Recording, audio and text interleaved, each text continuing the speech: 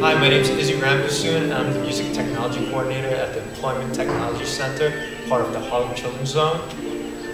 We are working on a project that we just started this term, which is awesome. Let me tell you, we are working on English, math, and life skills with these students through our music technology course.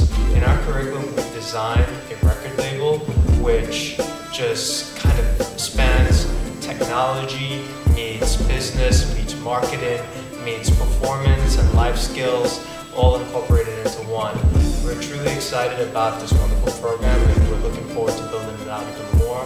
And we've worked with the students for the past three or four months on all of these wonderful projects and I hope you enjoy. Music!